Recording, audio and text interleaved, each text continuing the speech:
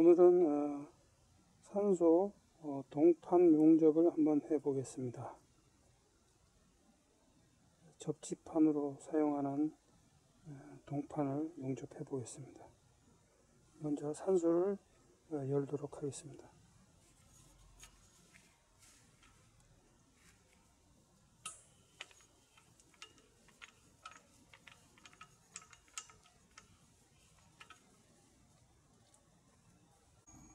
네, 다음에 LPG를 열겠습니다.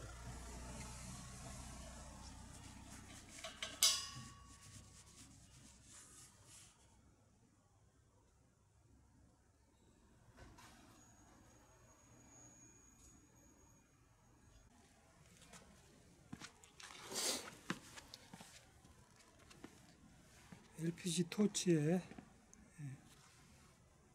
예, 불을 한번 붙여보겠습니다. 일단 이게 LPG 밸브, 요건 산소 밸브.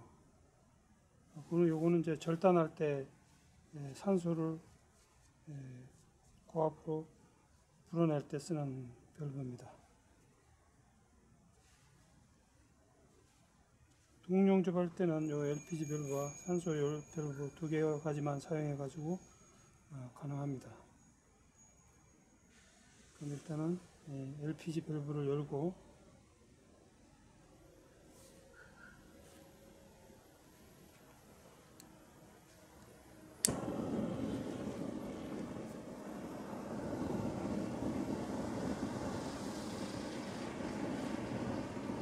LPG는 한 30cm 정도 30cm 정도 불꽃이 나오면은 이제 산소를 열어서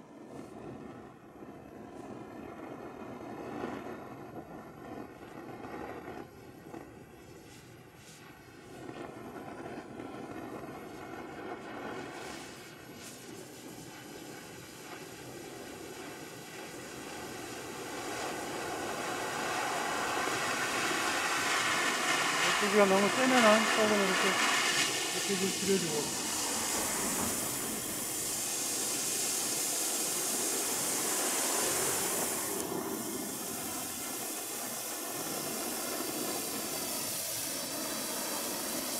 어, 지금